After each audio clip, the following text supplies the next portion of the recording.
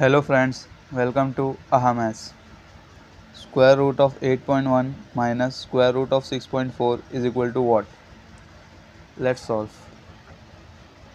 Square root of 8.1 minus square root of 6.4 is equal to square root of 8.1 can be written as 81 by 10 minus square root of 6.4 can be written as 64 by 10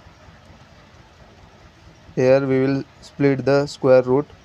Therefore square root of 81 by square root of 10 minus square root of 64 by square root of 10 here denominator is same.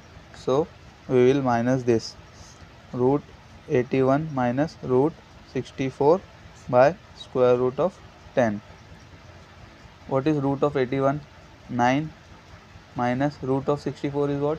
8 divided by root 10 which is equal to 9 minus 1 9 minus 8 is 1 by square root of 10 here we will rationalize it by multiplying by under root 10 in numerator and denominator.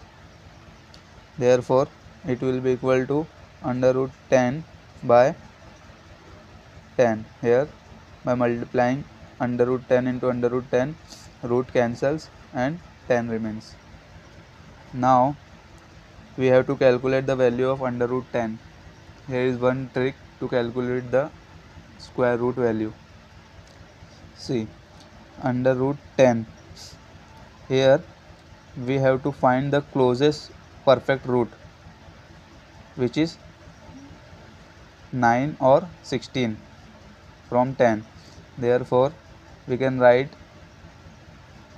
square root of 9 plus 1 will be 10 therefore we will write 9 plus 1 now we will take square root of 9 which is, which will be 3 and add it by 1 and divide 1 by double of this number. Therefore double of this number is 6 therefore it will be 6 3s are 18 plus 1 by 6 it will be 19 by 6 which will equal to 3.16 therefore the value of square root of 10 is 3.16 we will put here 3.16 by 10 now the answer will come.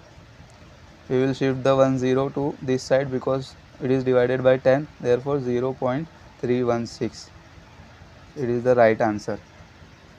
If you liked my video subscribe to my channel